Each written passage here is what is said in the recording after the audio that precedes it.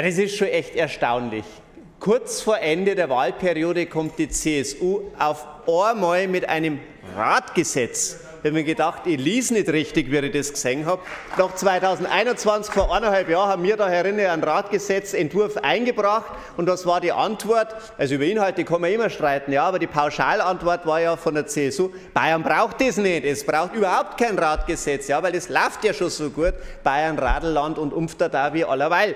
Dieses Manöver, jetzt seit dem laufenden Volksbegehren quasi den Stock in die Felge zu stecken ähm, und die Zivilgesellschaft 100.000 10.000 Stimmen beiseite zu schieben, Richtung Verfassungsgerichtshof abzutun, äh, so ein Gesetzentwurf hoppla die hopp vor den Latz zu knallen, das ist mal wieder mustergültig die Arroganz der CSU und die Arroganz äh, dieser Söder-Regierung, die hier die Bevölkerung ausbremsen will.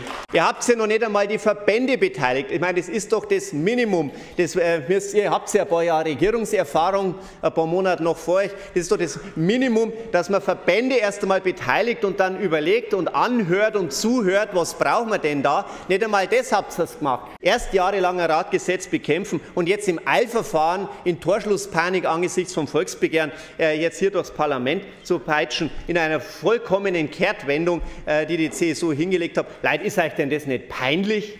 Drinsteht, tut ja wirklich auch nicht viel. Ich meine, es ist jetzt schon in den Medien gewesen, pro Kommune gibt es da 91 Meter Radweg.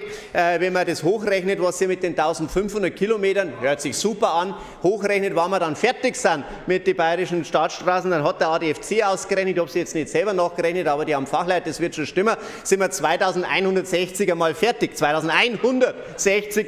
Ein schickes E-Bike ist euer Gesetzentwurf nicht. Es ist eher so ein Laufrad, so nur mit Stützräder. Das ist eher so das, was wir jetzt da auf dem Tisch haben.